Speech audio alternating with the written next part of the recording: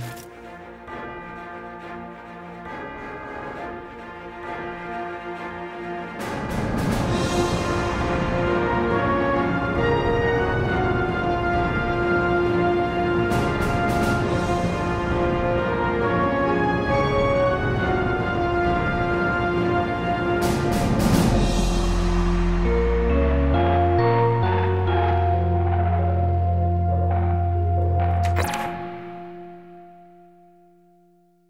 Everybody. Welcome to Pop Culture Curiosities. My name is Avery Vandenhouten. I am an indie filmmaker who talks about nostalgic, obscure, or otherwise strange content on the internet.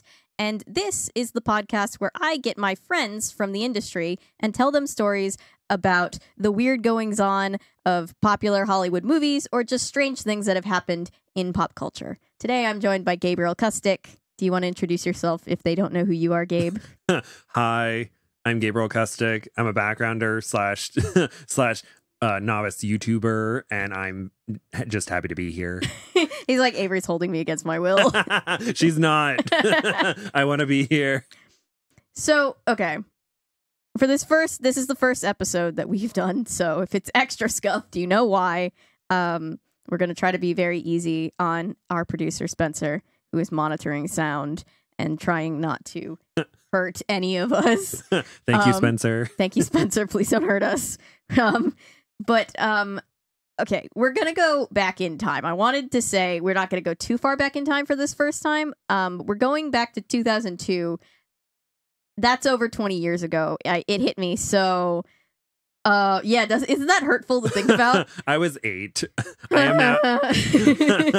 I am now 28. So Yeah, I so we're going 21 years in the past almost um to a film set in LA. So I know this room looks like a cramped little closet, but it is actually a TARDIS. Um I this is how I decided to tell you. So we are going to go all the way back, get it get in the TARDIS or if you prefer a DeLorean or what have you, get in get in loser we're going to 2002. So, oh, look at that. Ah, oh my god. Oh my god. The sound effects. Can you hear that? They're definitely not in post. They're they're here I can live. hear them very clearly. Thank th- thank you lights. okay, so it's 2002. We're here. Whoa. It's California. We're on a small sound studio on a soundstage. Um and uh, imagine that we had like an early call time, you and me. We've both been there, early call time, right? How early are we talking? I've had 4 a, or I think 5 a.m. was my earliest. I don't believe that early yet, but I think like 7 a.m. I think.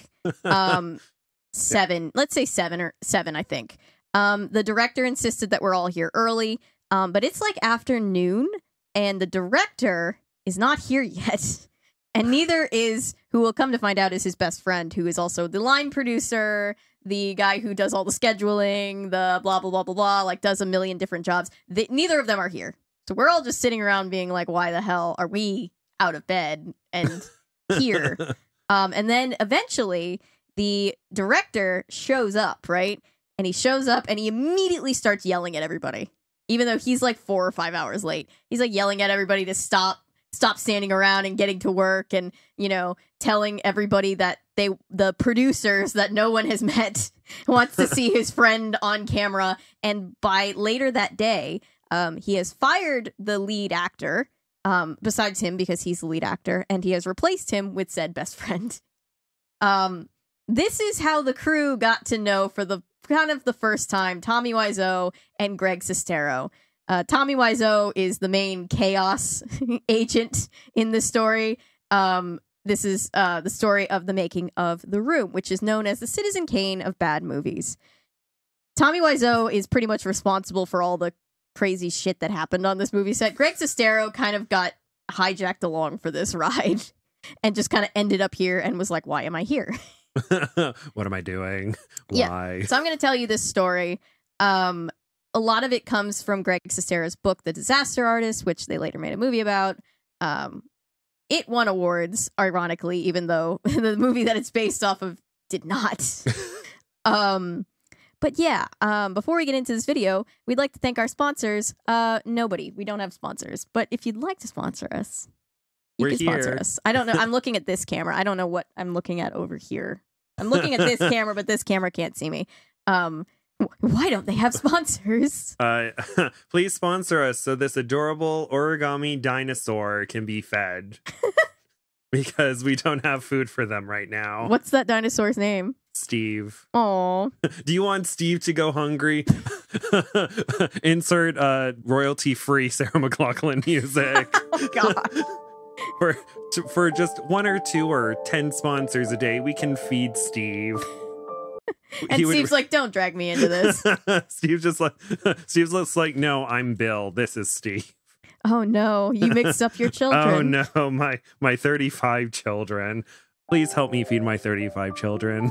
So, fun thing about Greg Sestero when Greg Sestero was 12 years old um, in 1990, he saw Home Alone on Christmas Day for the first time.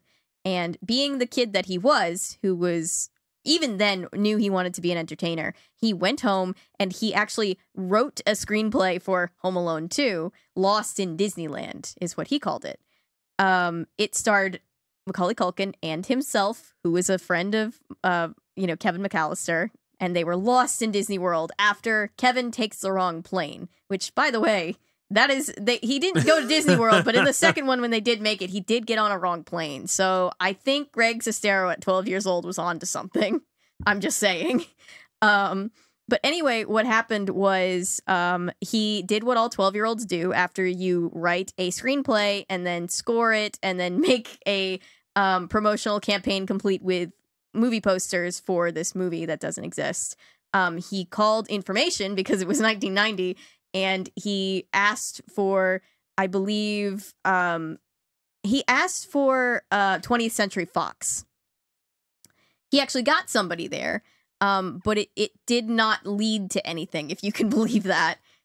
What? What? I know. But bless his heart, he then was like, I need to get through to John Hughes himself.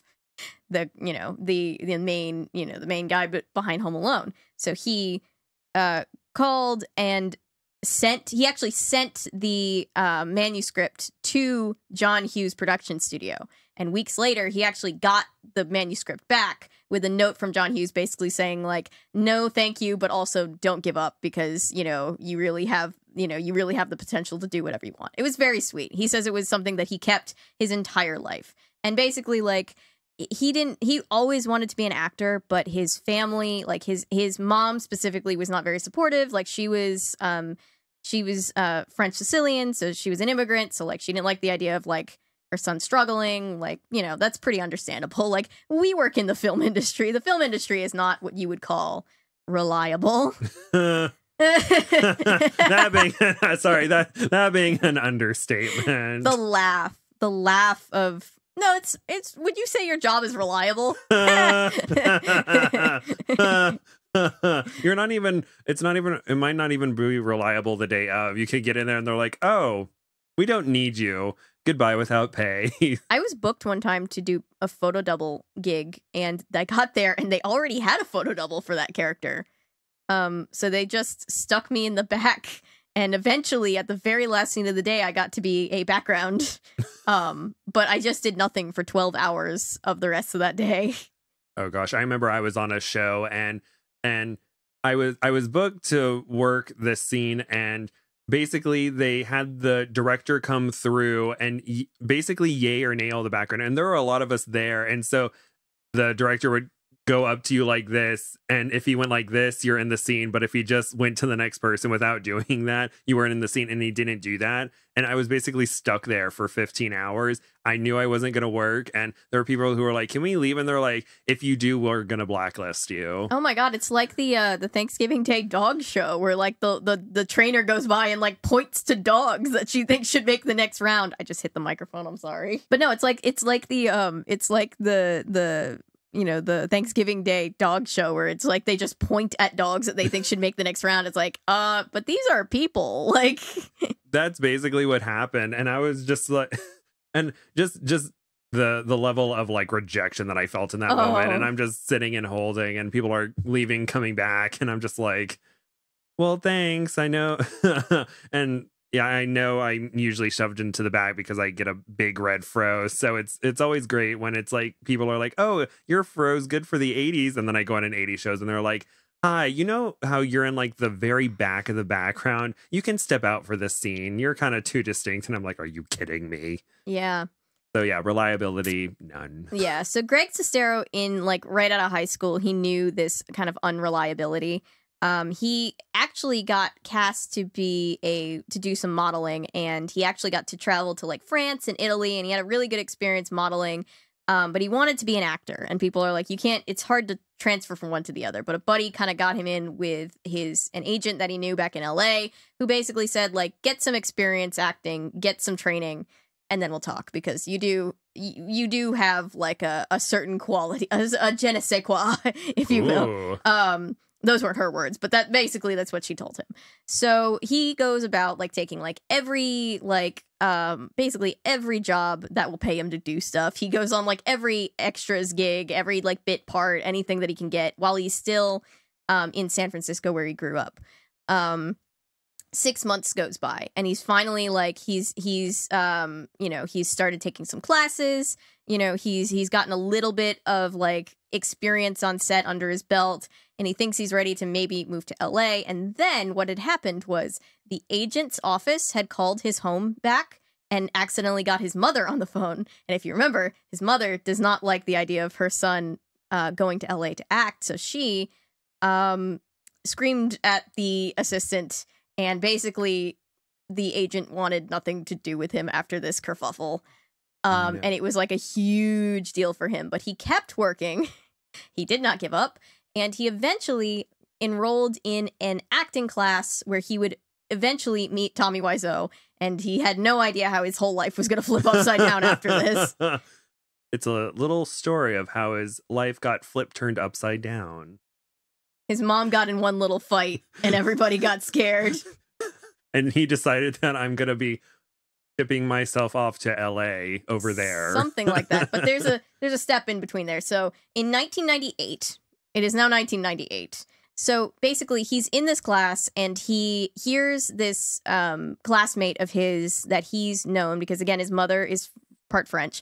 Uh, so he's bilingual. He knows French and he's spoken to this guy who's French and they've had like conversations. They like bonded over being French.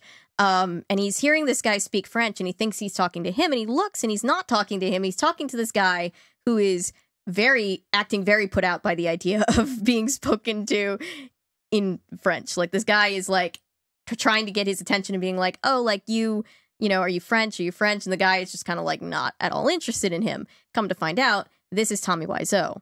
Tommy Wiseau is um if you know anything about Tommy Wiseau, I feel like a lot of people do. Uh, you do the Tommy Wiseau voice very well, so I know you know how Tommy Wiseau his accent. He's got a very like thick, like Eastern European, nobody can really place it accent. Um, you will find out about Tommy Wiseau that whenever anybody asks him, like, you know, oh, where are you from? Um, he does not like to really say. He doesn't like to say where he made his money, which is a substantial amount of money. He does not like to say where he was from. Um, when he when he when he's asked and pressed for details, he's been known to say um, New Orleans. and it's he clearly does not have a New Orleans accent. Like it's it's totally fine, but like he clearly does not like talking about um where he's from or like being from another country. So nobody really knows where he's actually from. I I can't tell you as much about him as Greg because uh Greg wrote a whole book and Tommy Wiseau doesn't want anybody to know how old he is. Um so, you know, it's his prerogative. He, he that's just, you know, we just don't know. Um to, Greg Sestero actually describes his accent as Eastern European that was hit by a Parisian bus. um so Yeah. you know, you know, um somewhere in that general part of the world, um we we do know, we do know he's he's told lots of different stories. When you ask him like how he made his money, um it's it's very much like do you know in Ratatouille where it's like why why'd you go to prison? That one guy and he's like the story's different every time and he's like I killed a man with this thumb. Like, you know, the story like keeps changing. That's basically Tommy talking about how he made his money. We do know that he had a clothing line. It appears that he had a clothing line called Street Style USA because there actually exist commercials that he made himself for this clothing company um, to become SAG eligible. Uh, and it involves him dressed as Hamlet quoting Shakespeare. To be or not to be? That is the question. The answer to be a street fashion. Be who you want to be in Levi's jeans from street fashions. To be or not to be? Who do you want to be? Your social skills aren't exactly streets ahead. That's the only like he sa- said that he did everything from selling jeans, selling imported jackets, real estate, um, just all kinds of things, right? Like no one knows who this guy is. Um, but we know that he has a lot of money and he really wants to make movies. Um, Tommy, as much as he wanted to be um in the acting business, he was uh, not a great student at the acting class where they were in. The teacher was always reprimanding him. He was always like, you know, yelling and going way over the top in scenes. But somehow, for some reason, even though everybody else ignored Tommy, Greg asked him to be a scene partner, and they actually hit it off because, like, they both have a love of movies. They both have a passion for the industry, and like, they became like frequent scene partners. I'm not sure, like, if it was like a you pick one scene partner and that's your scene partner for the year kind of thing or what but they were basically scene partners a lot even though tommy was also not a good scene partner um, one time uh, they did a scene and greg gave what he felt was a lackluster performance and so he insisted that greg give him apology chocolates and he made sure that to tell him that they should be mint flavored he was like you need to buy me chocolates and they need to be mint because that's how badly i think you mess up our scene oh gosh, it's like when the newbie backgrounds are like, um, I think we need to walk this fast, or why'd you do that during that scene? And it's just like, sweetie, sweetie, it's gonna be okay get it together. Greg also has a story about being over at Tommy's apartment to rehearse while they're still in San Francisco um, in this particular acting class. And Tommy asks Greg, Hey, do you want a drink? And Greg's like, Yeah, okay, sure.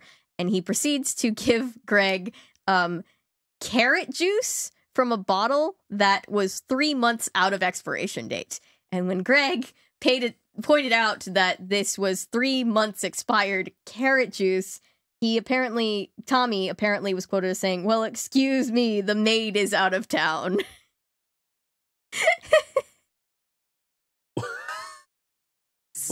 so Tommy's really a character, is what I'm saying. Oh, okay. Tommy is he's it, everything makes sense to Tommy in a very specific way, but very few people understand Tommy. And Greg kind of finds himself as he gets to know Tommy more being kind of like the liaison between Tommy and everybody else.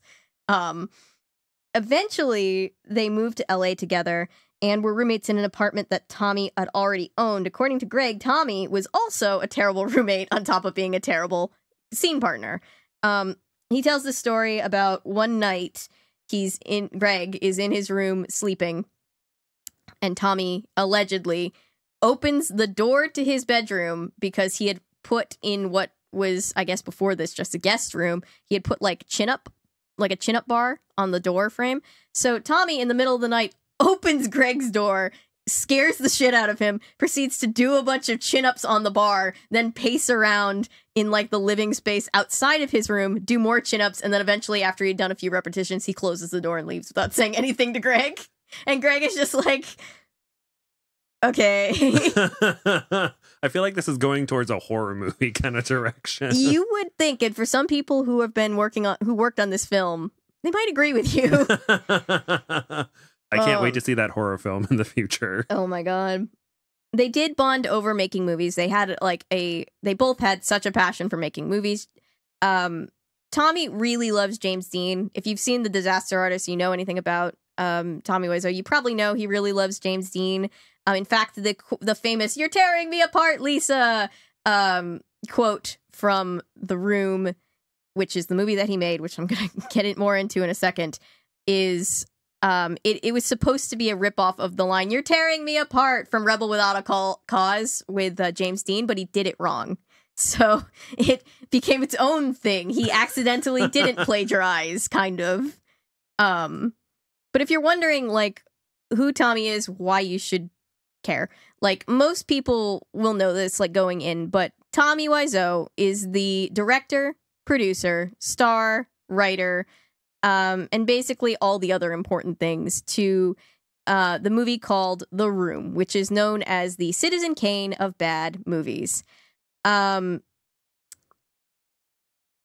I'm trying to wrap my mind around how best to tell you this because I've I've written all kinds of notes and it's still like it's still there's no real describing well there is but it's hard to describe the room.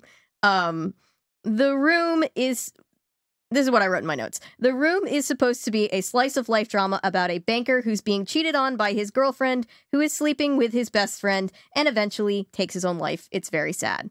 That's what it's supposed to be. Um what the room actually is is the most hilarious and bizarre film most people have ever seen.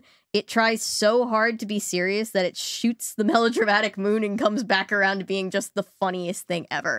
I don't think it's the literally the worst movie ever because I cover weird stuff on the internet and I've seen some pretty bad movies that could at least rival it, but it's just known as being like the quintessential bad movie in every sense of the word.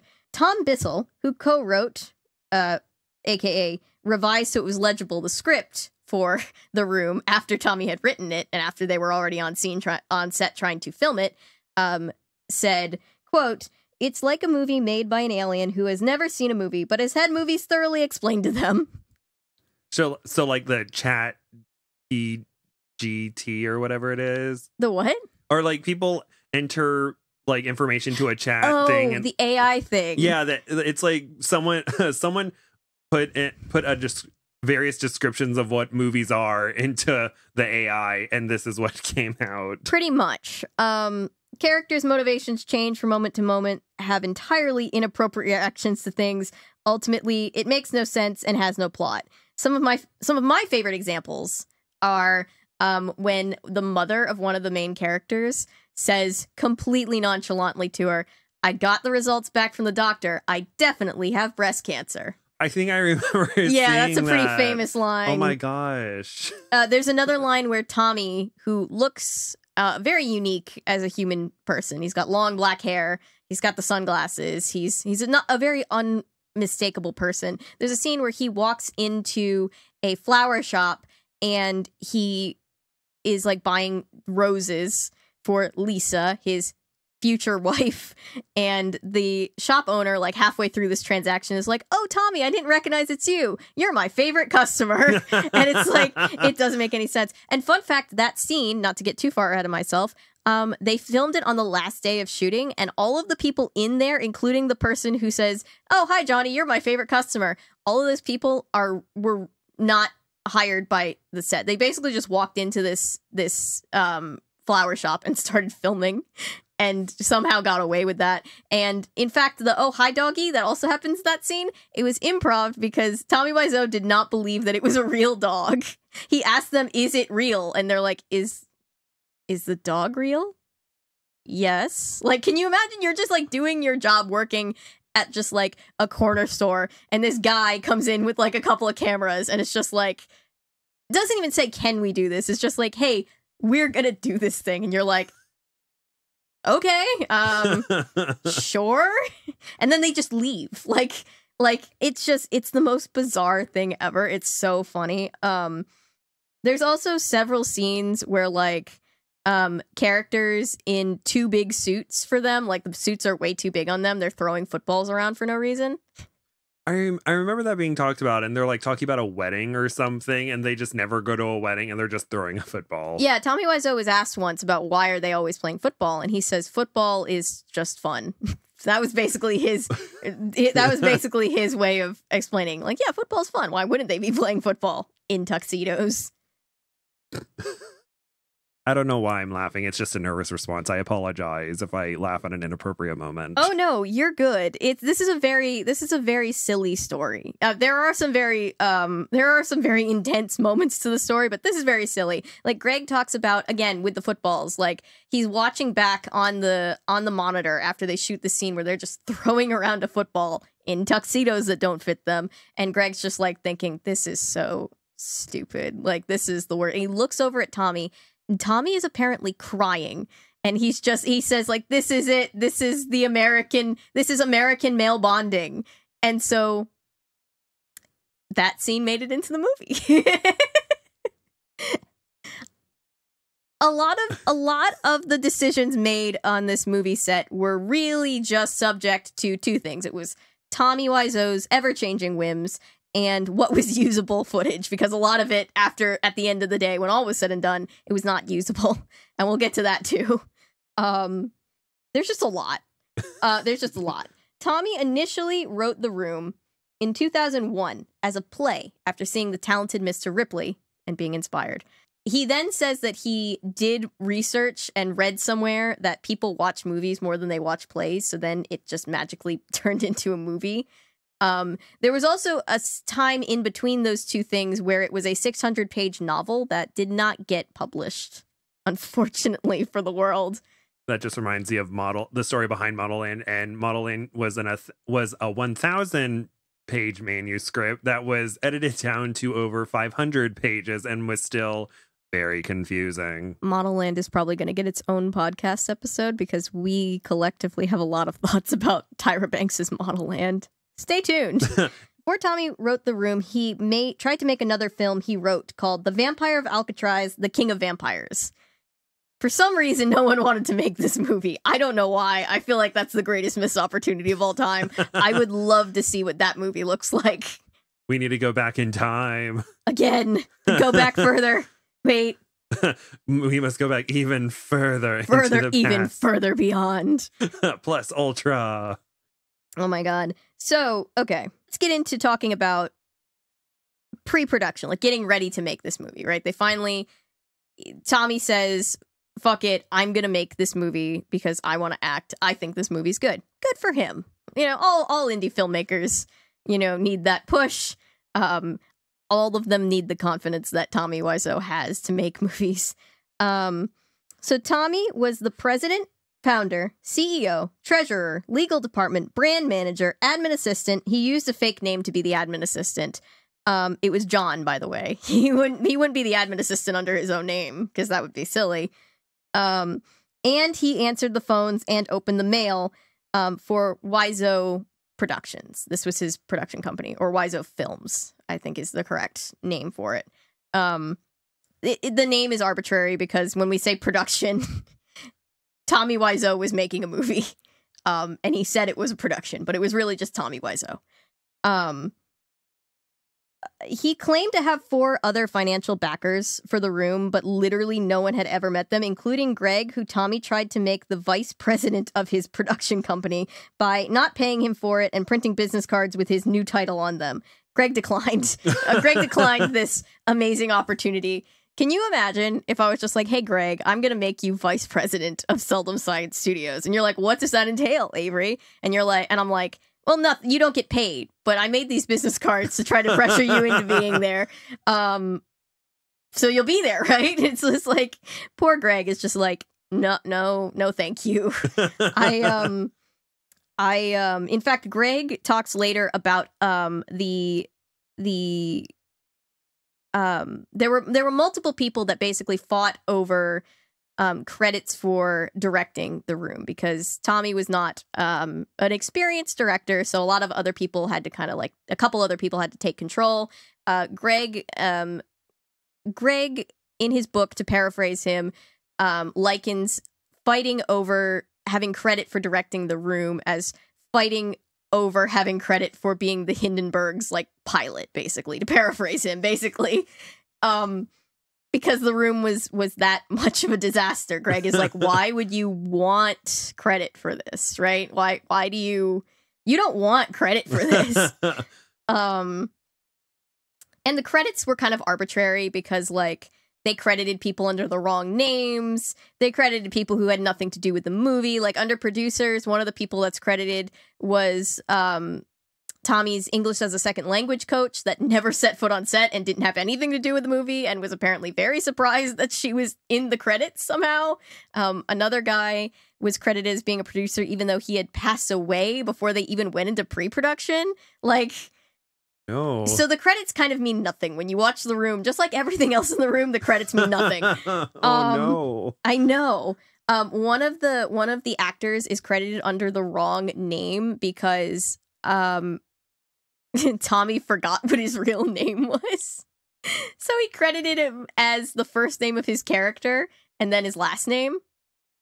Oh, oh, we'll get back to that. We'll circle back to that. oh my Um, gosh. casting casting for this movie took months longer than it should have. Apparently Tommy had to reassure certain actors trying out for roles that the room wasn't porn. They they were like, "Are we sure?" And he's like, "No, it's not porn. It's real legitimate Hollywood movie." And they're like, "Are you sure though?" Imagine how bad the production has to be before you're literally sitting there being like, "Am I making porn right now?" Do- Should I back out of this now or later? Yeah. Um Greg um Greg did not want to play Mark, who he went on to play. Greg um Greg wanted no part of this basically. um he tried to politely tell his I just hit the microphone and Spencer is giving me a very stern look. Greg basically tried to tell his friend politely, look, this movie is shite. Like it's it's really really bad and Tommy would not listen. And Tommy was adamant not only that this was a good movie, but that the character of Mark, who, by the way, is the best friend of Tommy's character, Johnny, and he's sleeping with Johnny's fiance, um, he insisted that he wrote that part specifically for Greg. So Greg had to play the part. It just reminds me of one time um, I had a friend who wanted me to be in their film, and they were trying to basically pitch this character to me and they said well you know she's really naive. She's not that smart. You know she's scared of everything. I wrote the part specifically for you and i thought in my brain fuck off. I was i was just like you know when somebody offends you but they have no clue how much they've offended you? It was one of those moments. And i'm just like oh poor oh. greg. This character that cheats that's having an affair with his best friend's girl behind his back? I wrote it about you Maybe he had like a bad dream or something. He's like, "You would totally do this to me." I mean, To- Tommy claims that he wrote the plot of the room after an experience that he had with a girl who was like he was serious about, and then she, in his words, betrayed him. But he won't go into more details, so it's just like, you know, who knows, really. um, but Greg was not exactly flattered by this and kept saying, "No, I don't want to be in this movie." Mostly because he didn't even think it would get finished. Um, boy, was he wrong. The night before, this is the night before they start. I hit the microphone again, didn't I? Sorry, Spencer. this is the night before they are set to start like filming, like principal production. Um, Tommy's still trying to get Greg to sign on to be the basically the other main character. Um, they have already contracted another worker, another actor to play this part. His name is Dan, although um in my notes it says Tommy called him Don and insisted Greg do the same thing. that wasn't his name though, it was Dan.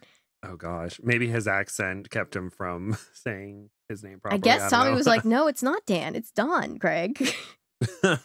yeah. Um, So this guy has been cast, right? And he's planning on starting filming the next day. Um and meanwhile, Tommy's trying to get his best friend to take the part out from under this guy and Greg feels bad about this. Um especially because like during casting of this of this movie Don had been forced by to- Tommy to show his bare ass on camera um during during casting like this made Dan very uncomfortable um this made the the person operating the camera very uncomfortable um that person was Greg because there was nobody else to operate the Oh. camera oh, poor Greg. so Greg is just already over it and it hasn't really even started yet. Um Greg was made the line producer of the film, which basically means he's dealing with scheduling and all those things. Greg didn't know what a line producer was when he was given the job of being a line producer. So, to due to no fault of Greg's, like scheduling did not go well on this set. And Greg was like already before they even started, he had been through like scheduling all of these meetings and auditions and Tommy, he was dealing with Tommy and, you know, it was just a mess and he didn't want any part of it. Um so the night before filming begins, Tommy drags him to this really fancy restaurant. This really fancy restaurant where like all of these famous people in LA constantly are. And he basically gets them in without a reservation because he just kind of goes up to the to the hostess and it's just like uh gives like a generic name and she says, "Sorry, there's nobody here with that name." And he goes, "Oh, I'm sorry. It was actually this name." Again, nothing. Third try, he's like, "Oh, it's this generic name. It's John." And she's just like i guess maybe just because she's tired of dealing with him she's like okay fine there's a there's a john on this list. You can go. And so he insists on being sat in a booth. They sit in a booth. He insists on getting a hot water that just a hot water that he doesn't drink. Um and basically tommy is just tommy which is he is a menace to society kind of everywhere he goes.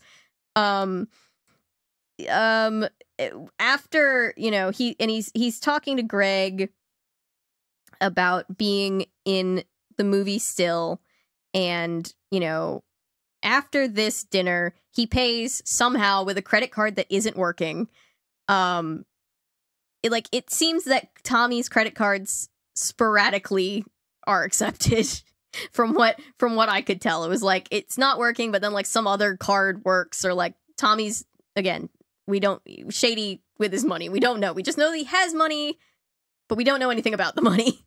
Um, so after this, uh, Greg says he he to- Tommy paid with uh, some credit card, but Greg paid the way that he always did, which was by apologizing to everybody. That's how he says he paid when he would go out anywhere with Tommy.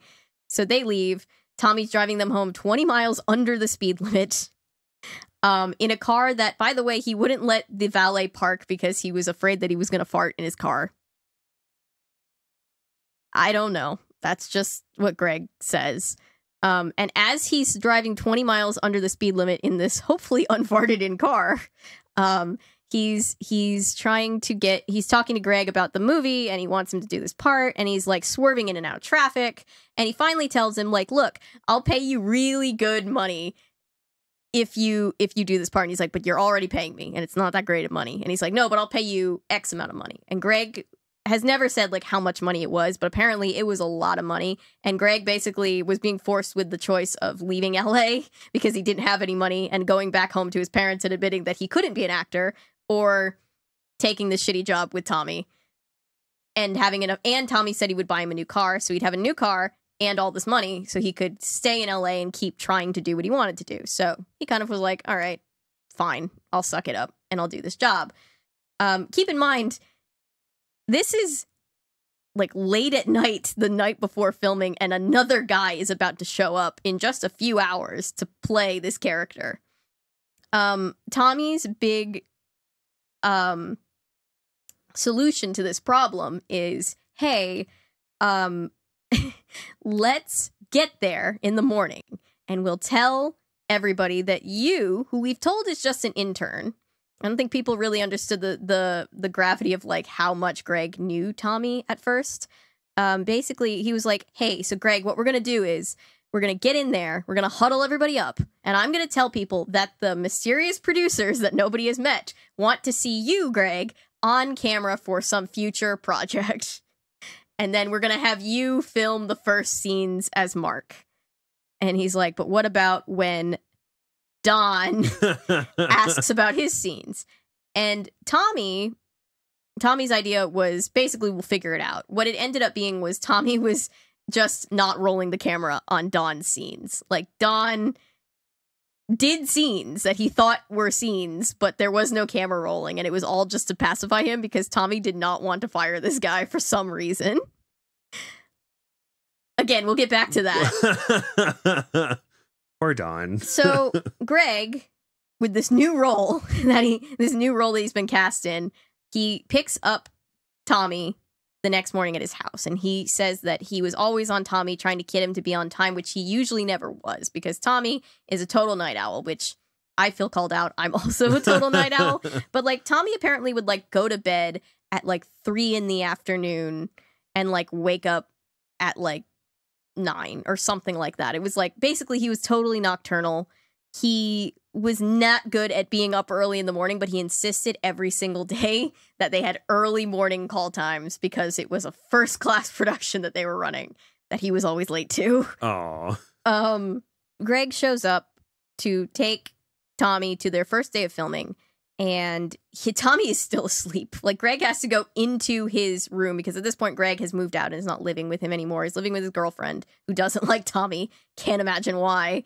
Um, and Tommy is he literally has to go into his house, go into his bedroom, and wake him up. And Tommy's like, "Yeah, five more minutes." So he sits on his couch and he waits for Tommy for like a while, and he finally realizes like this is taking a while, and he realizes Tommy comes out of the bathroom with like gloves and black hair color all over his hands, and he realizes he's dyeing his hair like as they need to be leaving the house. So this brings us to where we started, where I said, "Hey, we're all here, but the director is like multiple hours late." Um, that was why was he was d- re-dyeing his jet black hair, jet black again. So he was very late, but his hair was on point, I guess. so they had that going for him. So again, they show up, and oh, fun thing about Mark's character, um, the character of Mark, I mean the character that Greg plays.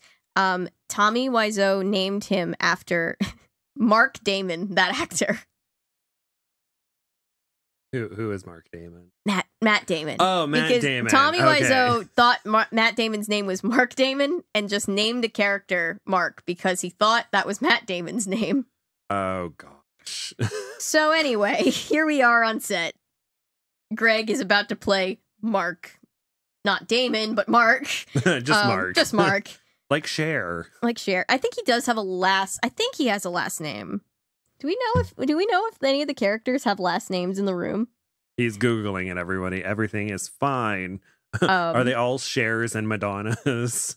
They're just so cool. They just have first names. Nobody has last names. That's a very that's a very the room thing to be like everybody just has first names. They don't need last names. what are they going to use the last names for? Tommy Wiseau is free to email me and tell me what he thinks the last names are. if I'm incorrect, I would not want to uh, be incorrect. Or maybe Greg, because I feel like Greg would Or be. maybe Greg. Greg might be a little bit more open to talking to me. yes. Greg, if you hear this, contact Avery. Um, shout out, Greg. We see you, Greg. You're amazing, Greg. We're sorry that you had to go through that. Okay, so now we're on set, right? Tommy has already yelled at everybody, lied to one of the actors. Um, let's talk a little bit about um, actually day to day of working on this production, right? Tommy gave very minuscule budgets to most of the departments, including the makeup girl who was shoved into the corner of the soundstage with no real workspace. She just kind of had this dusty little, like, not even like a little desk almost where she couldn't didn't have room to like put anything out um and she was just shoved in the corner and she was supposed to be responsible for like everybody looking good right however tommy did spend money where he thought it mattered such as a $6000 private bathroom for himself that had everything but a door and was partitioned off from the rest of the set by a single thin blue curtain Sounds about right. Yeah, you know, privacy is really, really important to me. I definitely would spend six thousand dollars on just a toilet for myself, and then not even give it a door. Oh god! Flashback to all the times we had porta johns to use, and we see a honey wagon. We're like, "Oh, this is amazing!" And then So they're like, luxurious. extras actually can't use the honey wagon. It's like, but there's twenty people in line for the porta john. I have to pee. we 10 1, 10 2, why? And then also, Tommy insisted on using a film camera and a video camera simultaneously for filming the room. Um, you and I both know this is never done. You're either filming on film, which is less and less popular now, but this was 2002, or you're filming on digital camera, um, which wasn't as advanced as back then. But Tommy really wanted to be a director who had done something for the first time. And even though they tried to tell him, like, look, you don't need to like use bolt. Like you want to just use one. It's going to look terrible if you try to you're not going to be able to cut these together. He insisted on it. He also insisted on buying, not renting all of the gear. Also not done. Yes. If you're just listening on the audio only version, find us wherever you find your podcasts. Uh Gabe is giving me a very concerned Uh. look. Um because it's just not done, right? That's millions of dollars. Like you don't need to spend that. Nobody like name the biggest production. Like Disney doesn't buy their gear because they don't have to because it's just not done. You don't need to do that. Um, but he did, and he even had a special mount built so that he could mount both of the cameras, the the the film camera and the digital camera right next to each other, and literally film every scene twice. Uh, this, of course, also not only did he have the expense of the two cameras, buying them, the mount, all that, but he also needed two separate crews one to operate the digital camera and one to operate the film camera because there are different jobs that go into that. So, double the crew, double the cameras, and at the end of the day, they didn't use the digital really at all. Like, the first thing they cut was the digital because it looked awful because, like, you can't light for film and then have on that kind of camera just shoot and have it look good like it was pretty much unusable so all of this expense all of these extra people working was pretty much all for nothing but tommy could not have been talked out of it. So that's what he did and that's what they did every day for the six months that this film filmed. Um six months this film filmed um yeah and it was not a good uh, experience during those six months. Um Hopefully the check's cleared. They apparently did. Apparently, again, people expected Tommy not to, to to like be lying about the fact that he had money, but he apparently had the six million dollars. So he got his money somehow. Um, there's a scene in Disaster Artist that's obviously dramatized, but it's like where the um where Sandy is like going in there trying to get his paycheck cash because he thinks it's going to not cash. So he's like trying to get paid before that doesn't work um, which has happened to me. I've had to drive around and like see if I could like get Publix to like cash my check because I had gotten heads up that the ca- checks were bouncing from certain productions. Gosh. Luckily, I've Yep. never had that happen, but there was one time there was a, a payroll company that was audited, I believe, and I got a check and the ATM could not read it. So then I just went to the like taking pictures on Wells Fargo and that worked. And I'm just like, they're trying to keep me from getting my money. Yeah.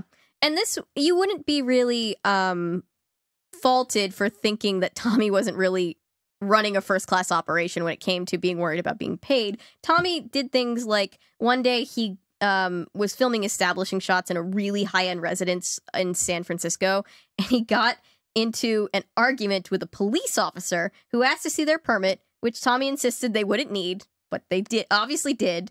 Um and after a few minutes the crew just packed up their gear and fled and just was like, well, I guess we'll just start from scratch because we've just been, you know, illegally filming and caught doing it without a permit. Even though the permit would have been like cheap and easy to get, Tommy was like, we don't need that.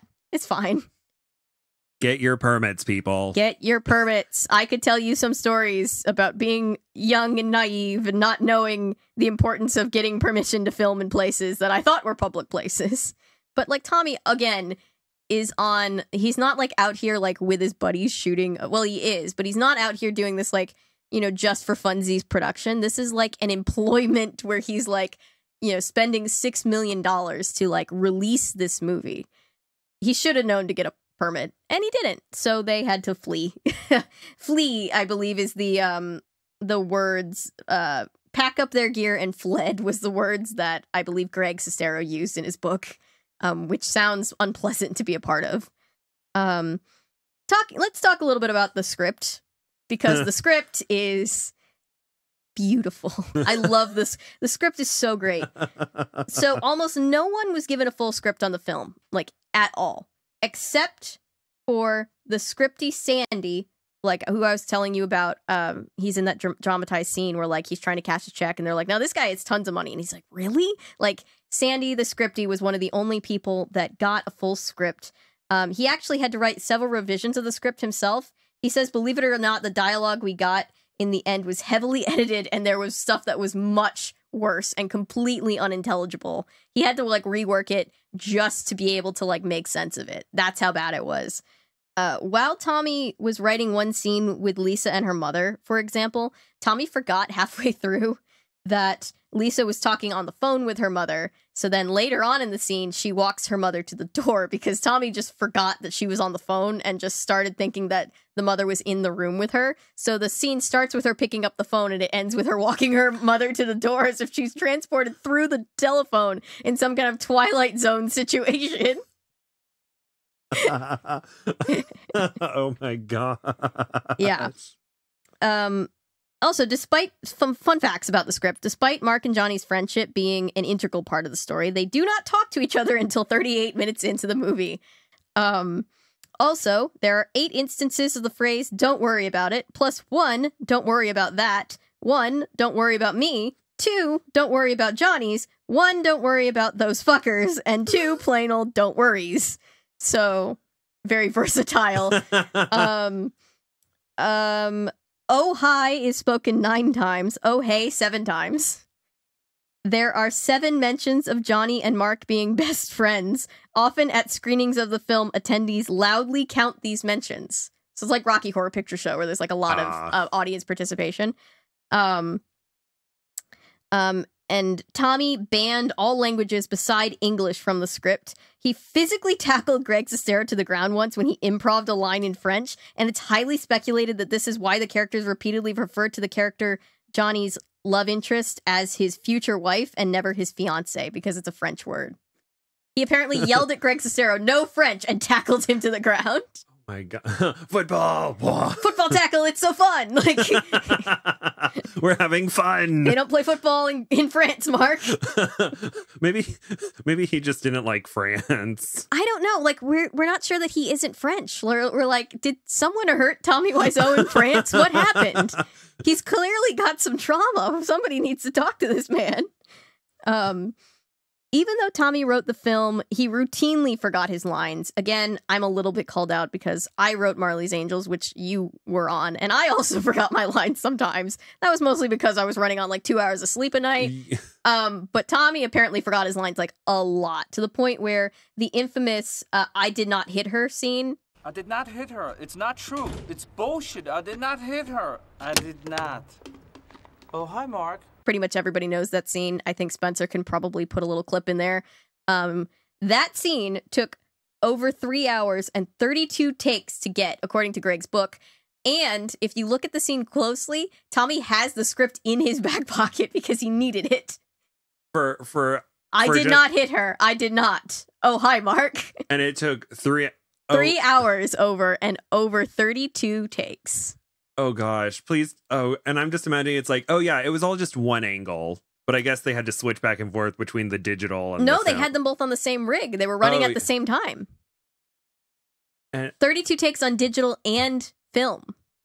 and it took three hours, and they didn't change the angles, or did they change the angle? I don't if they Or- tried to, I don't think they did. I think that was all they could get and that's why it's one take. three hours. Another fun fact about that scene is that the outfit that Johnny, Tommy's character is wearing in that scene um, was actually picked out by Johnny himself when the wardrobe person went to run an errand. He just kind of like sniped the clothes that he wanted from wardrobe. And then when they got back and were like, you can't wear that, he refused to change. So that's just what made it into the film. Oh gosh, there there are sometimes I'm sure a lot of extras are, or a lot of the female extras whenever wardrobe tries to give them heels. and they're like, "No, I'm going to take these slits. No, you're going to wear the heels." And it's like, "Oh." If they told me explicitly to bring heels, I would bring them, but I would hide them in the bottom of my bag. And a lot of times they would just be like, oh, I don't see any heels. Here's some flats. But sometimes if they insisted on the heels, I'd be like, here. They're here. oh. I hated wearing heels. But once I knew an extra who um there was a um there was a we were working on a show and the wardrobe guy was not there. He was sick. I can't remember what happened. He was he wasn't there one day. And nobody was counting on us needing to have a whole new change because we'd been in like the same outfits for like days. Um but we needed a new change. So our PA said, just go over to the wardrobe truck. Like you guys have been here long enough. You know what your characters would wear. And um so of course one of the extras picks out the brightest, shiniest jacket you could possibly wear. Um, we're supposed to be refugees in this scene. and and it was established by the time the wardrobe person came back. So like there was nothing they could do about it. So if you just watch that particular episode of that particular show, which I'm not going to mention, it's just a really bright disco look in the back of what's supposed to be this somber refugee crisis center. Uh, Looks I- very out of place. and I get criticized for my red fro sometimes ending up in the shots. I know, right? You're like, there are redheads, people. We exist. exactly, and it's and it's just like, well, then stop making your show so bright if it if it catches the light really well. I'm sorry. So a lot of the film also had to be dubbed. Speaking of lines being messed up, one because Tommy would mess up his lines um, a lot, and his accent made it hard for people to really understand what he was trying to say. Um, but the other part was just that the sound guy that was hired, because this was a non-union set, he, there a lot of people were not in, were not very experienced. Some of them were, um, but like the sound guy just allegedly just wasn't. He he missed a lot of stuff. So like there was a lot of really unusable sound. So there's a lot of places where it's very obviously um dubbed over in post and it like their lips barely match up to what they're saying and apparently that was a big pain in the ass in post production too and then under uh in in my notes i have miscellaneous to- miscellaneous tommy antics. And it just says tommy had a cold the day they shot this big party confrontation scene. He combated this cold by drinking half a bottle of nyquil. This made him tired right? That's probably goes without saying he combated this by drinking seven Red Bulls, and this was right before they shot. So when you watch that party confrontation scene, if it seems like he's a little extra out of it to you, it's because he has half a bottle of NyQuil and seven Red Bulls in his system currently by Greg Sestero's estimate. Isn't there like a limit of how many Red Bulls you can drink a day? Like for safety, yes, this was not very not safe. I'm like, yeah, I, I'm asking this question after hearing all this information. I'm just like, Do not do this. Do not lead by Tommy Wiseau's example, please. At least in the seven Red Bulls and half a bottle of NyQuil thing. Uh, Tommy Wiseau is kind of a built guy, so I'm sure like that wouldn't kill him. Um, but it did make him really loopy. He was really flying when they filmed that scene, and you can tell he's kind of like swaying a little bit in the scenes that they shot. it's it's pretty rough. doesn't he like fall over at some point? He Or- does. I mean, there's a fight scene which Greg is like, yeah, he was actually really hurting me during that fight scene. Like he was really going for it, and like he got bruises and all kinds of stuff. Like it was really unsafe. I don't even know that they had. I don't know what was in there in the way of safety. Um, there were a lot of injuries on the set, so we'll get to that in a second. So I feel like the safety wasn't very managed.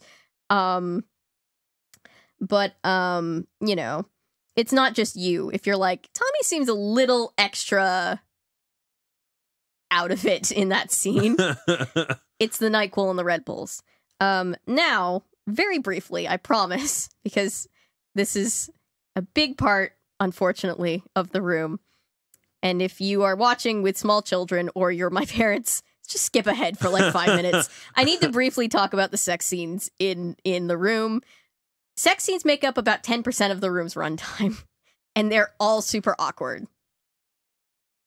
Um, yeah, it. Mm, yeah, like I mean, uh, everybody was a consenting adult. Like I'm not, I'm not, you know, it's just what. But the se- sex scenes are just very awkward.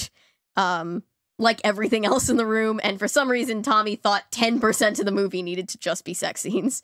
Um, also, like when you're filming like a love scene, they obviously typically call for like a closed set, which basically, if you're not in the industry, just means the actors and literally anybody who absolutely has to be there is there, and everybody else is out to like give them privacy because you don't want people just like milling around in the middle of that. It's awkward, right? Um, Tommy didn't do this at all. There was a completely like open set during this very vulnerable situation, um, which is obviously not good. He also ended up cutting the absurdly long sex scene that they filmed in half because he was like, "Oh, this sex scene is good. I think there should be another sex scene." So he just cut it in half and used the other half as if it's a completely different scene.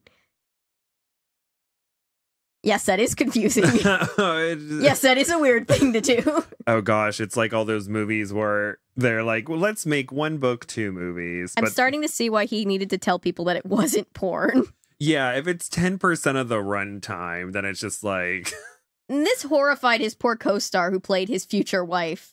Um who tried to while they were filming because it was very awkward to film and you can tell when you watch it she apparently was like hey let's put on like alicia keys and like make it more fun or whatever to try to make it less awkward. And he was like no we're not here to to um, represent other people's art. We're not here to promote other people's art. And so that got shot down real quick. So it was just a super awkward super horrible scene.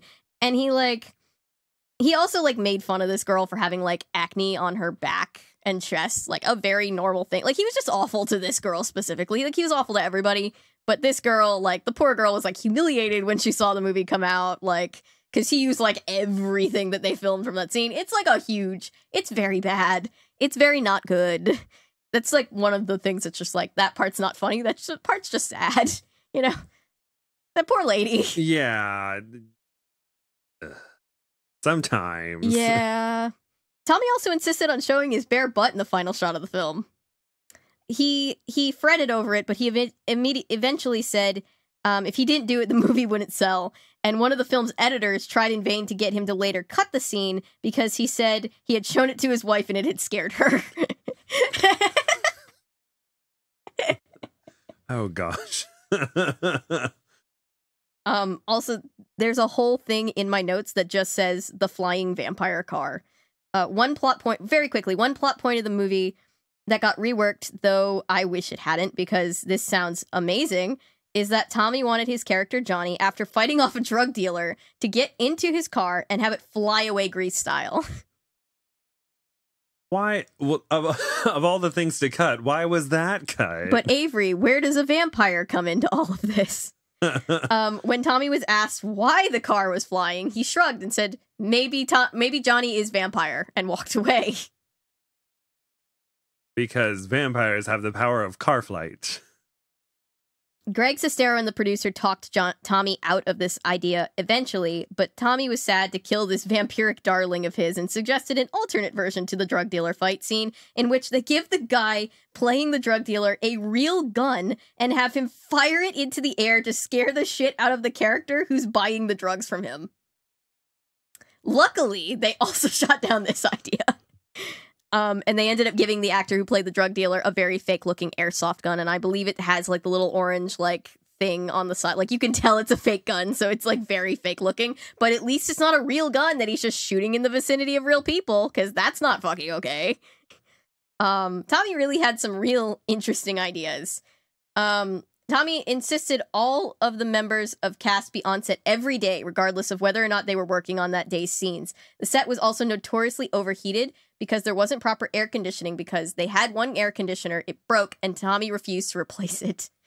Um, um, one of the actresses brought up the fact that Tommy didn't even have water for the crew on this hot soundstage, and allegedly he screamed, Nobody in Hollywood will- will give you water, and chucked a bottle of water at her head. No, that's not a professional thing to do. I mean, I mean, even even the even at the bare minimum, the background get water. I had a I had a crafty lady stand up and say to the extras water is a privilege and she threatened to take away our water but she couldn't because it's like a human right. It's actually not a privilege.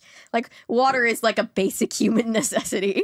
Oh gosh, I remember one time I was on a show and uh there are just a s- small little note, but uh th- there was a little water cooler where people could get their water and apparently on the nozzle there was like some mold on it. And and they told the crafty people and apparently someone saw the crafty person like wiping the mold off with their with their hand their No. ungloved hand. This is pre pre panorama but still um as i'm calling the thing because i don't want to don't want to get demonetized but i don't know but yeah it was before that but apparently they like wiped it away with their finger and so someone was going around and being like hey just so you know don't drink from the water cooler the the crafty person wiped off some mold with their thumb. Disgusting. I hate that. I always bring my own water. Um greg sestero once had to call an actor playing chris r. Don't ask me why his name is chris dash r uh, tommy's been asked about this and he just says it's because he's a drug dealer. He sells drugs. Chris dash r. That's like cl and c dash l in Modelland. Like I said, that Modelland podcast is gonna have to come soon because that's gonna be a that's gonna be a long one. Um, but he had to call this guy back at one point to tell him that they needed to do reshoots for his scene. By the way, can you imagine thinking that you're done on this horrible hell set and then you get called and it's like, actually, we need to do reshoots. Can you come back in, please? Like, I've had nightmares about certain sets that are so bad. It's just like, please don't call me for reshoots. Please don't call me for reshoots. Please don't call me for reshoots. Um, but when he called this guy, the guy just asked, "Did Tommy blow up the studio yet?" Um, because this is a good time. We've we're already kind of talking about it, but this is a good time to talk about the fact that Tommy he didn't really have a good repertoire with the cast. They didn't really like him that much. Tommy was kind of a dick to every member of the production, and when he wasn't being a dick, he was just being confusing.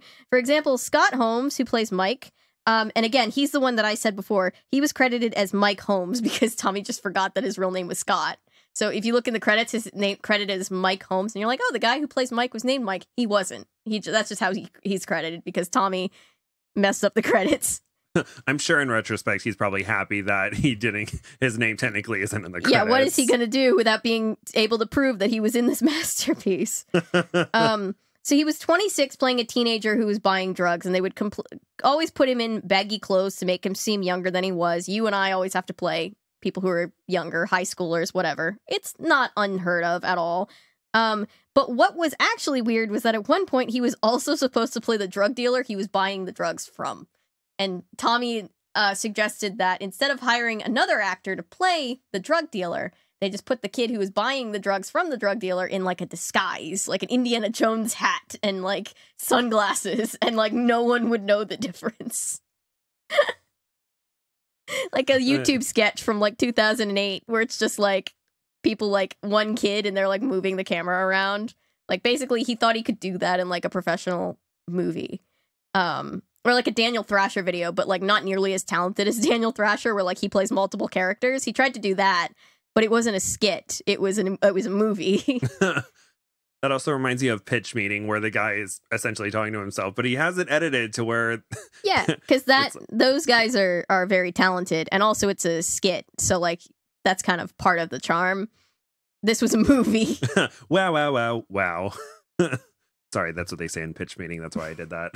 So remember how I just said that the set was notoriously very hot and there wasn't really a lot of water provided all the time? Well, the actress who plays the main female lead's mother, Carolyn Minnott, I think is how you say her name. I apologize if that's saying it wrong.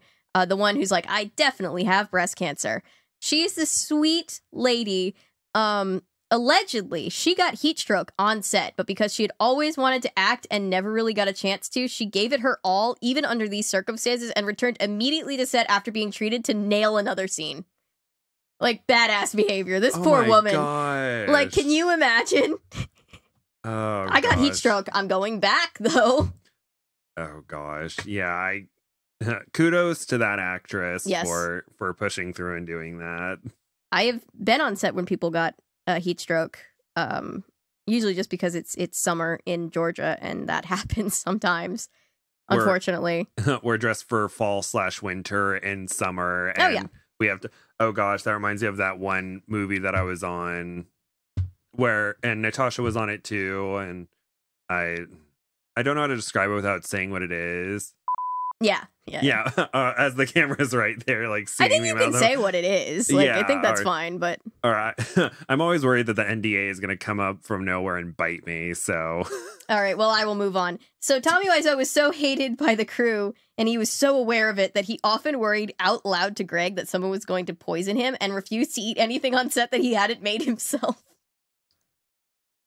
you know you're a shitty boss, right? When you're like, I'm just imagining him like drinking like the fanciest of waters and eating like the most expensive sandwiches course, while everyone else is just like, oh. two separate DPs and their entire teams quit the movie in protest over the course of the of the six month shoot. I'm sorry. Several cast and crew members were fired and replaced multiple times, sometimes for reasons as simple as suggesting that lines be changed. And to remind you, the lines were at times completely unsayable. So they'd be like, "Hey, can I change this slightly so I can actually say it?" And they'd get fired. Apparently, allegedly. Each actor had multiple understudies and scenes were frequently reshot. In the end, over 400 people had been employed by production. The most, if not all, departed the film on very bad terms with Tommy. Uh, the actor who played Chris R., uh, again, I don't know why he's named that, was forced by Tommy to wear his own boots in a fight scene. And when they inevitably got scuffed, Tommy didn't want to replace them. He allegedly shouted at the guy, I am not the Santa Claus. Not just Santa Claus, the, the Santa, Claus, the one and only. I am not Tim Allen Santa Claus, and you will not get $80 boots. Allegedly, he eventually replaced the boots, but Greg had to basically be like, give the guy his boots, please.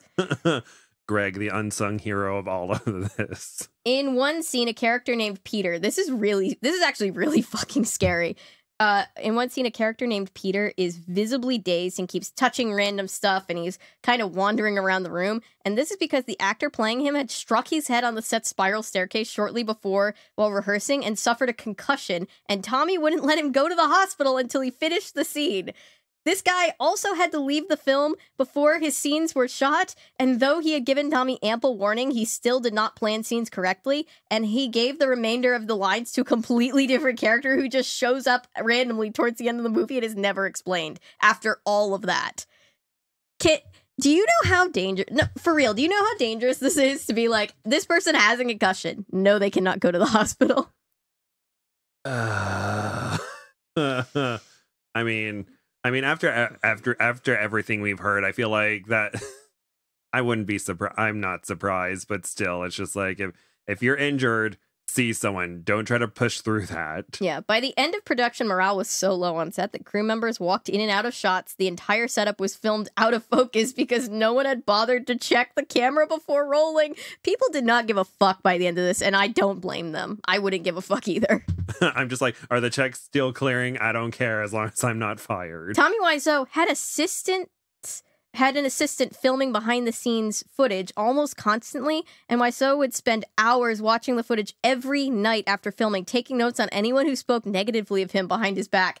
And when the original cin- cinematographer, Raphael Smadja, I hope I'm saying that right, quit and his crew demanded to be paid, Wiseau attempted to retaliate by using this knowledge of their criticism against them they confronted the conf- confrontation nearly escalated into a physical fight between Greg Sestero st- before Greg Sestero stepped in and got Tommy to pay everybody. Like he would like he had basically spies. He had like footage being filmed so that he could like watch it back and be like, did anybody say anything mean about me today? Oh god.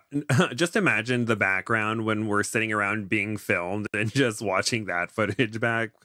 That and just like hearing what we're saying it's just like oh god. I've actually met a lot of sound guys that are like what people forget on movie sets is that there's microphones all over the place and people constantly forget that they're on hot mic and they're like boy i wish i could tell you some of the stuff i've overheard on these movie sets. That's why sometimes if you see actors like tapping the mics on their chest it's like oh they're talking crap. Yep. If it's like they're telling somebody mm, wait until the mic is off wait until the mic is off somebody's gonna hear that okay, right bef- before I tell you about the disaster and then eventual um, r- rise again of this movie as a cult classic, quickly the sets. Tommy, um, Tommy had some interesting ideas as far as like what sets to use. They filmed an alley scene on a cardboard set. It's very clearly like cardboard cutouts, even though they had an alley set alley outside, like right outside the set, um, because he said that's how they do it in real Hollywood American movies, apparently. Um, the same thing happened with um, when they were trying to film rooftop scenes. They had a rooftop that they had full access to from the soundstage that they were filming. Had a great skyline, apparently. Um, he instead did all of these scenes on like a styrofoam set with a green screen because he was running high class operation and quote no Mickey Mouse stuff, which I find particularly interesting because if you've ever been on a Disney set, they're definitely they're definitely doing what's best for the scene. They're not using styrofoam sets. Those people have a lot of money. Um, they're not a, they're not afraid to film on a rooftop if that looks good. um, Green screen for days or blue screen for days. oh yeah, they have so much money. The idea of like, oh, we're no Mickey Mouse stuff. It's like, have you seen a Disney production? They have literally all the money, like all of the money. Um, there are also fun things in the set deck of the room. For example, the main character has a framed picture of a spoon in his house. This is because they forgot to replace the stock image that came in the frame, so the stock image of the spoon made it to the final cut. Tommy has since claimed that the spoon pictures are actually a huge allegory for America's problem with consumer consumerism of disposable products. Um, but everybody on set is just kind of like, nah. it's just that we forgot or ran out of time or Tommy was yelling at us, so we couldn't really focus. Uh, they also moved these pictures around like behind them because they didn't have that much set deck. So it just looks like Tommy, his character has like pictures and pictures and pictures of just spoons everywhere in the room. Consumerism. So after this nightmare of a movie was filmed, he had to get ready to launch it, right? To promote the movie that he had spent $6 million estimated on to make, he put up a giant billboard in LA. Have you heard about this? The giant billboard? Um, he put up a giant billboard that became infamous in the area because it featured Tommy Wiseau's face staring down ominously from the sky and had just all of this ugly text that didn't match. It was different colors. It was people thought this movie was a horror movie because of this. They were scared of this billboard.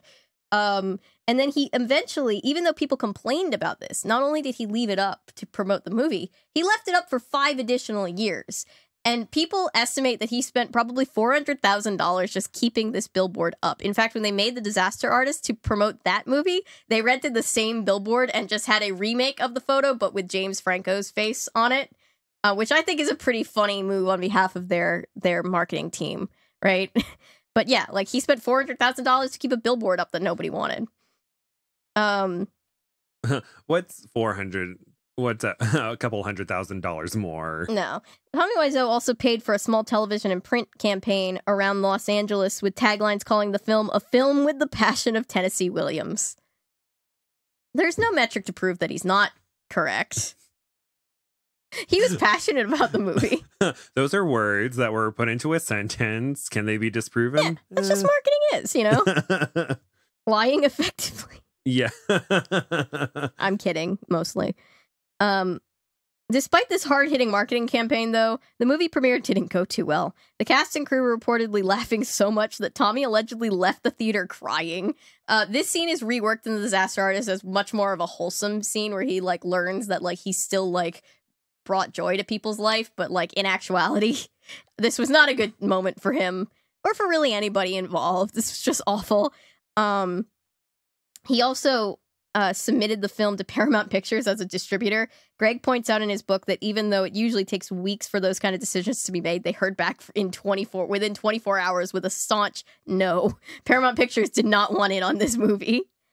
Um, the movie almost got pulled from theaters on its first day, but Tommy paid to keep it running in one theater so it could be Oscar worthy because part of the stipulations, I guess, for an Oscar movie, like an Oscar nominated movie, is that it has to have run in theaters for at least two weeks. So he kept it in one theater so that he could say it did run for two weeks in one theater. in one theater. Um, shockingly, uh, he did the whole uh, for your consideration campaign and won no awards for this movie. However, the What? disaster artist about how bad this movie was did win some stuff. I forget exa- I don't think that they were nominated for best picture. I think James Franco won something. Tommy Wiseau got to go. So in a roundabout way, he did get to go to the Oscars because of the room. Um, the the the movie has since became uh, become like a cult classic film. Obviously, it's shown at midnight screenings. They kind of um, they kind of liken it to Rocky Horror Picture Show because of the midnight movie thing. But I'm personally offended on behalf of Rocky Horror Picture Show because Rocky Horror Picture Show is hilarious and knows that it's silly. Meanwhile, the room is just like this is serious Hollywood movie, and it's not. Um, apparently, two filmmakers once saw the movie when they were going to in that two week period. There was a sign on the marquee door that said like um the room. It was like a paper that said something about like the room but then it said like it was handwritten. It said no refunds. Um so they were like oh that's gonna be a good movie. So they went and they actually ended up bringing like a ton of people back to watch this and that damn billboard had an email address on it. So people started hitting up this email address asking for the movie to be put back in theaters after it was taken out because they were having so much fun watching this horrible disaster of a movie. Um to this day they play it in midnight screenings like especially in LA like people bring spoons and they throw them at the screen. People wear oversized uh, tuxedos. People throw footballs at the screen. They chant out the the famous lines and they count lines that are said over and over again like oh hi that kind of thing apparently. Um um cartoon network also apparently aired this on Adult Swim, their late night block, for two years on April Fool's Day, 2009 to 2011. So actually three years, 2009, 10, 11. For April Fool's Day, they aired The Room, which I think is just kind of funny.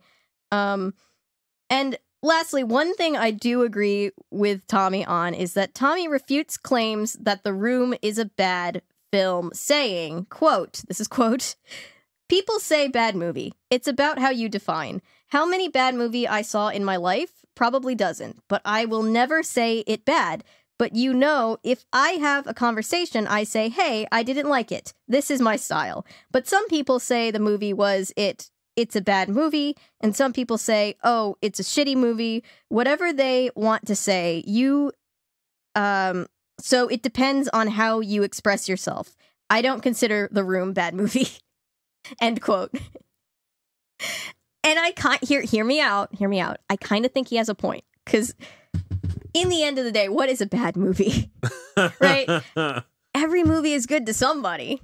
We find that out covering stuff on this channel all the time. Like movies that I'm like, who would watch this movie? People are like, I grew up with this movie. I love this movie, right?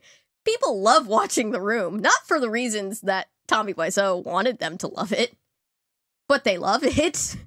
So I kind of agree with him. There's no, you can't write off The Room as like a, it is a bad movie, but it's not, it's not a bad time watching it. so I will give him that. I don't consider Room bad movie either. Um, I'm sure a lot of people might disagree. I'm but, yeah. sure, but here's the thing: it's like I, it's in the interest of uh, com- combating like snarky movie critics that are like, oh, these are good movies and these are bad movies. It is worth mentioning that it's like, yeah, like everybody is going to find enjoyment in a movie somehow, either, whether that's ironically or because of some like nostalgia tied to it or whatever. Like, you can't really tell somebody like, oh, you're not gonna like this movie because you never know, right?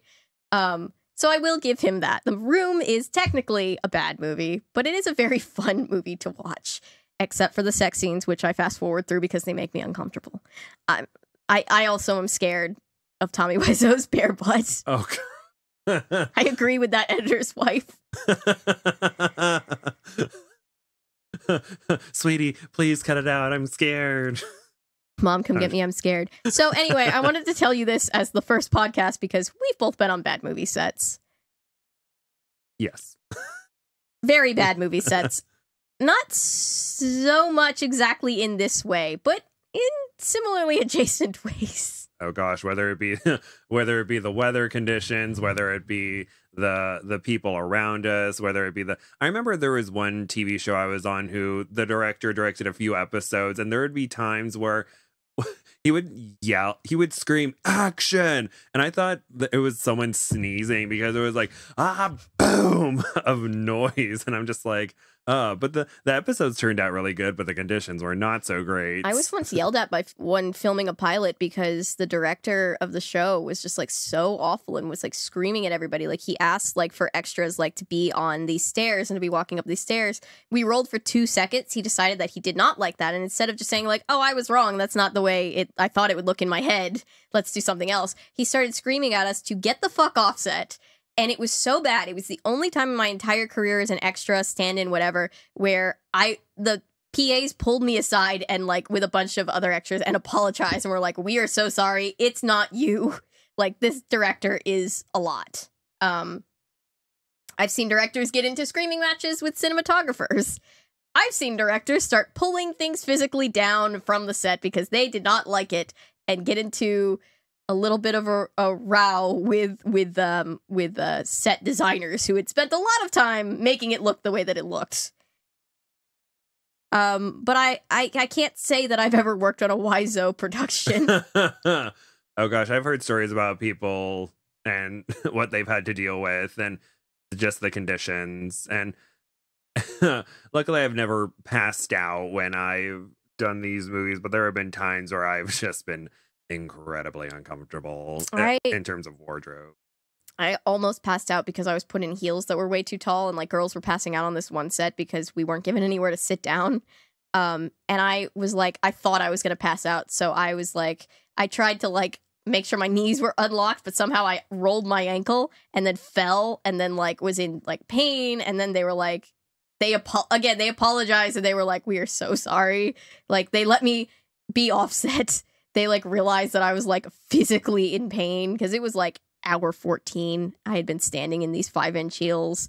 Three other people had passed out from locking their knees that day. It was a big mess. It was an overnight shoot too. So like Ooh. everybody was exhausted.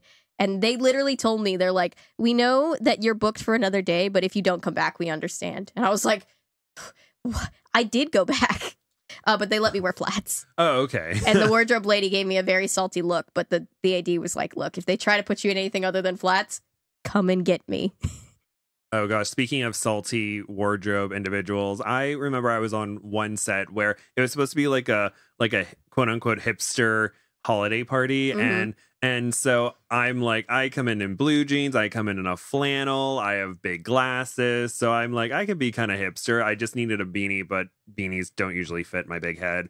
But I come in and and I'm like one of the first people in line and I go up to the wardrobe guy and he l- looks at me and he's like so, or I, he looks at all my stuff and he's like, "So did you not look at the wardrobe notes, or do you just not have anything?" And I'm just like, "Okay." So he gives me like this black mm. button up, these black pants that don't really fit, and these black shoes, and I only had white. I only had white socks with me because I'm like, I didn't know I was supposed to be like dressy, dressy for this, and so he's like, "Oh, we'll get you some socks." Da da da. Cut to the wardrobe, the head wardrobe person going around looking at looks and they pointed at me and were like, just go back in line. You you need a change. Cut to me waiting 45 minutes in line. Cut to me going back in to another wardrobe person who basically puts me in the same exact look I came in in, except for with the jacket. And I and I and after I'm done getting redressed and stuff, I'm just like, oh, am I good? And he looks at me and he's just like, and or, or for the audio individuals, I I gave a really sassy up down look and then like a nod, but like a mm, kind of nod, if that makes sense. So luckily, I've never had to wear heels before, and if I were to ever to make a movie, I would say flats for days. Everybody, it's a nice scene. I don't care. Flats for days. Yeah, heels are just awful, especially when you're standing in them for multiple hours on end. Not fun.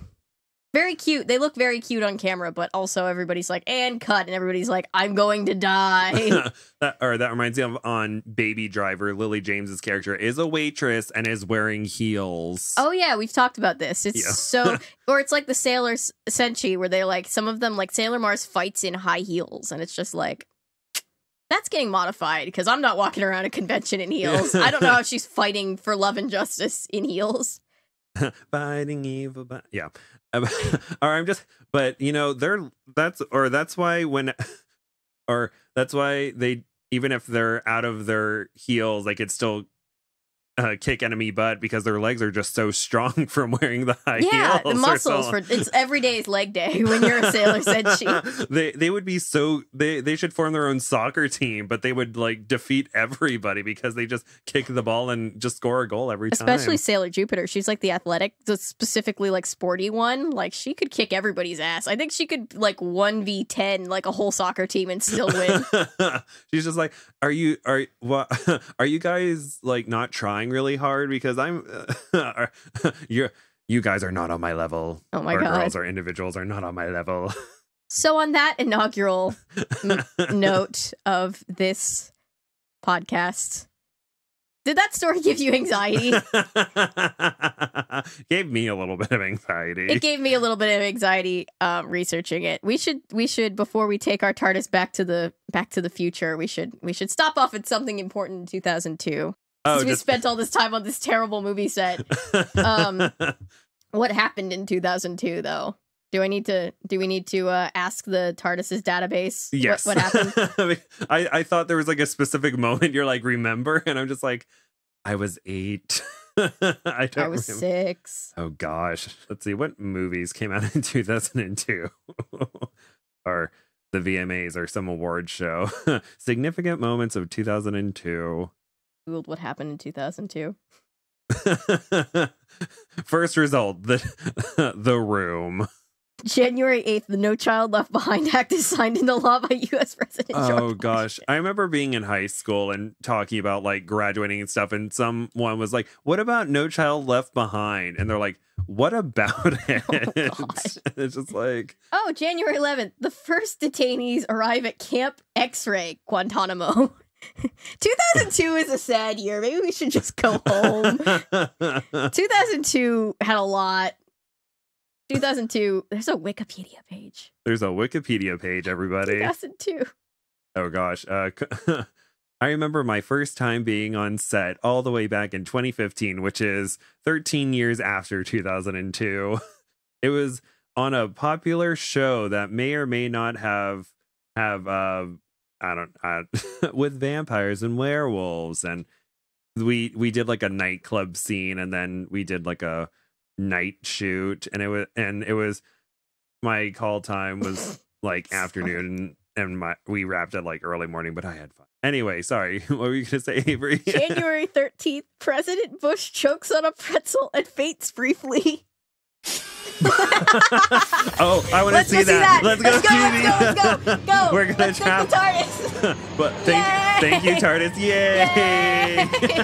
we're popping over to where to president bush Bye, guys. Once we get back to the future, be sure to like, subscribe, share, do all the podcasty things. I've never had a podcast before. I don't know what I'm supposed to tell you to do. Thank Oh, you for listening. Um, you can follow us on YouTube at Gabriel Kustick, and Avery talks about stuff as well. And we will see you next time. and don't forget to rate us too Bye. bye thank you for being here bye